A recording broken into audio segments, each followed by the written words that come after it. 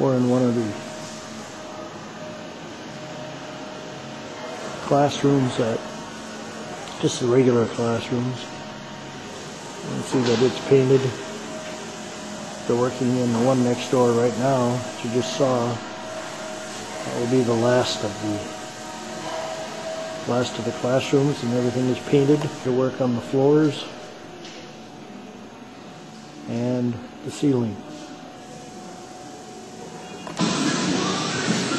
Working on the panels in the mechanical room. Pretty good size switches. And fairly good size panel.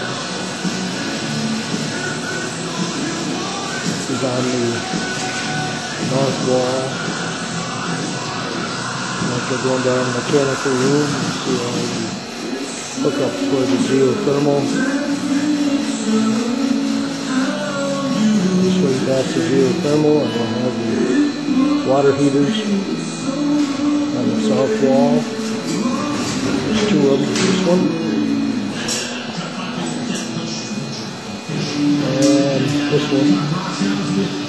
Maybe on that wall.